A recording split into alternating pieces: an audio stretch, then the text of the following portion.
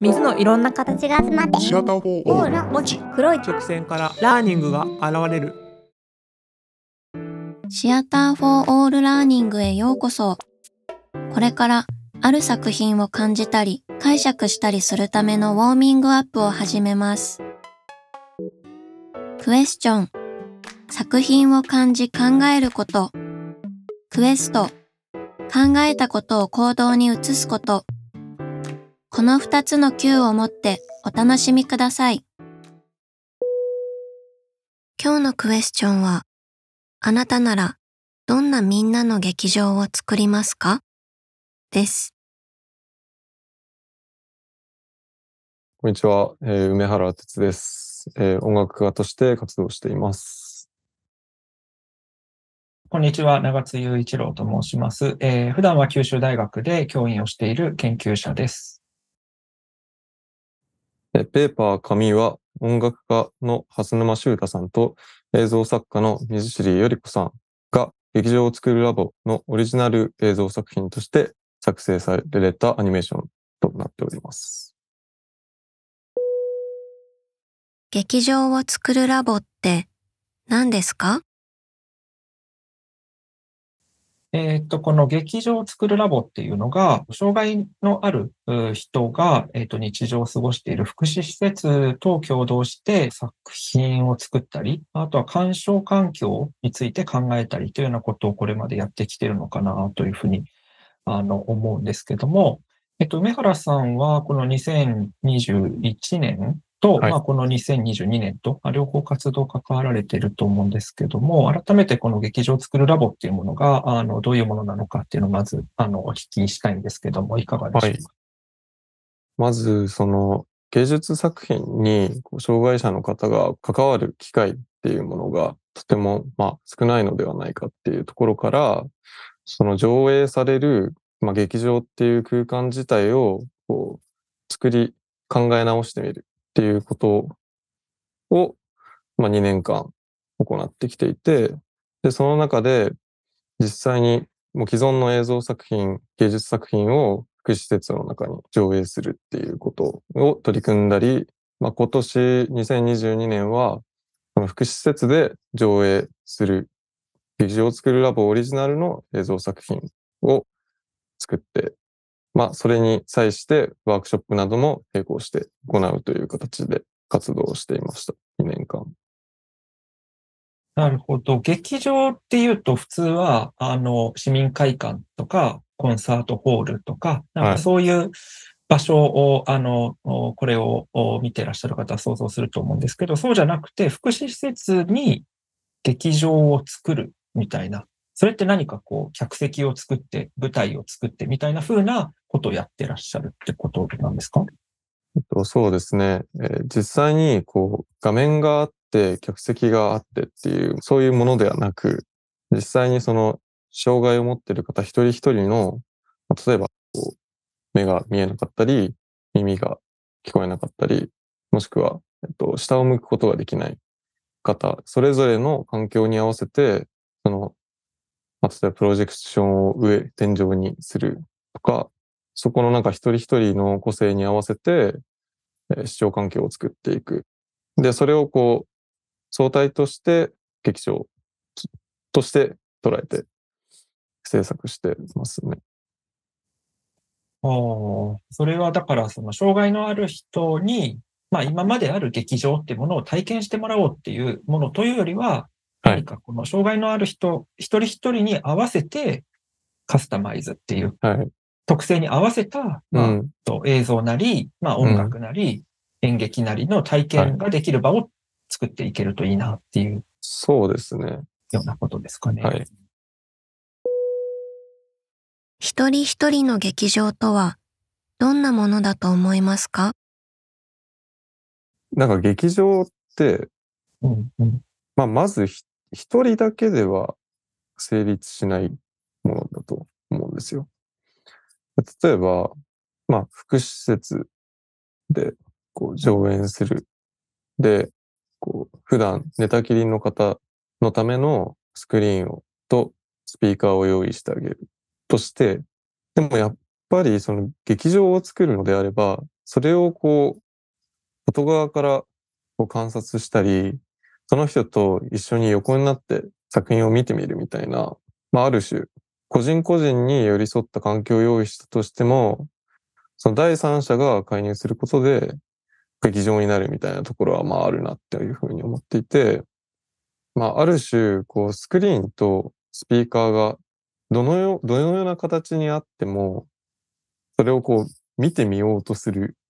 その行為自体があったら、まあある種こう劇場になる。シンプルに劇場を持ち込みますっていう風になって、うんじゃあその映像のスクリーンとスピーカーをこう設置しました。どうぞ見てくださいっていうことが、劇場を作るラボが作りたい劇場なのかっていうと、まあそう、そういうものではなくて、やはり視聴環境を拡大して、福祉の施設の方々も楽しんでもらえるようにするっていうことが、まあ、ある種一つの目標なので、一個人のための環境にみんながこう、ある種寄り添っていくように作品を鑑賞するっていうことが、福祉施設だから可能っていう、こう、言い方もできると思うんですよね。まあ、例えば、こうその下を向けない人のために天井にスクリーンを用意するっていうこともそうなんですけど、まず天井にプロジェクションされてても、作品を見ること自体は、まあ、可能なんですよね。そその天井のスクリーン自体は、まあ、その一人の利用者さんのためのものなんだけれども、なんかその人と同じ視点に立って作品を鑑賞したりする。例えば、じゃあ私も寝っ転がってこう作品を見てみようとか、そういう働きかけのようなものが起きるのは、まあ、ある種、こう、福祉施設という、まあ、劇場外のところに劇場を作ることの、まあ、一番やらなければいけないことというふうには、こう、思っていますね。なんか、今聞きながら考えてたのは、うんなんか80年代、90年代に日本各地でホールというものが建てられた時に、うん。多目的ホールっていう名前。をよくつけるんですよね。うんまあ、つけたりとかそう呼ばれたりとか、でもそれは結構批判もされて、うん、結局多目的と言っていながら、うん、まあ、どの目的も果たす、微妙に果たしづらいホール ばっかりできちゃってっていうので、まあ無、無無目的だみたいなことを、うんうん。まあ、揶揄されたりしたはい。時代もあったと思うんですけど、なんかそのことと全く逆のことをここではやろうとしてるんだな。うん。つまり、たった一つの目的、つまりうん、下を向か、ずっと向いている人うん、に見せるっていう目的のためだけに作る。で、そういうふうに、まあ、ある種、こう、突き詰めて作ることが、結果的に、その、その周りにいる人たちも、うん。まあ、そういう見方もあるねとか、そういう、そういう劇場もありだね、みたいな価値観が広がってって、まあ、いつの間にか劇場っていうものの概念自体が、そのはい人たちの中で変わってったりする。うん、なんかそっちの方がよっぽど多目的な感じがするっていうか、うん、みたいなことを思ったりす例えばバリアフリー、いろんな人が使えるようにしましょうっていう、そこを目的化するのではなくて、そそれはなんか結果としてそうなるべきであって、その、まあ、糸口というか、解決したい課題や、まあ、ある種創造のインスピレーションみたいなものは、その一つの個人から、こう、まあ、想起されるもの。っていう一つの視座を持ってやって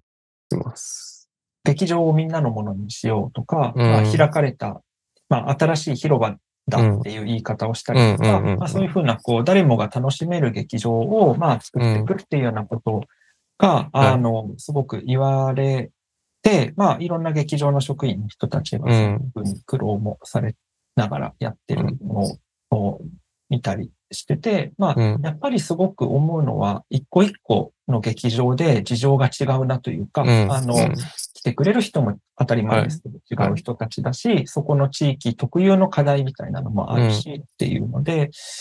まあ、あの、理系の研究とかだと、まあ、例えば1000人とか1万人とかに対して適用できるようなものを作ろうっていうことをすぐ考えるんだけど、でも、きっとこの劇場を作るラボでやってることって、その、まあ、対象となる人がたとえ一人でも、まあ、それを丁寧にやっていくことが、はい。結果的に、まあ、10になって、100になって、そうですね。1000になって、オールになるかもしれないみうたいな。ことを、これかもあれかもって作っていっているような、そういうことをやってるのかなと思うし、はい。結局、なんか全国のそういう公共劇場とかがやるべきことっていうのも、うん多目的なものをガンと作るというよりは、なんかこうこういう視点の方が大事なのかなと思ったりもうん。はしますけどね。はい今日のクエスチョンは、あなたならどんなみんなの劇場を作りますか？です。